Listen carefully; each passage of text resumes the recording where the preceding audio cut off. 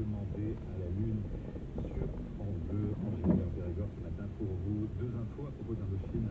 Je vous rappelle qu'ils ont choisi la ville de Bordeaux pour euh, leur prochaine tournée. Elle débutera le 29 mai à Arena. Donc euh, les locations sont ouvertes à partir euh, du 29 septembre prochain.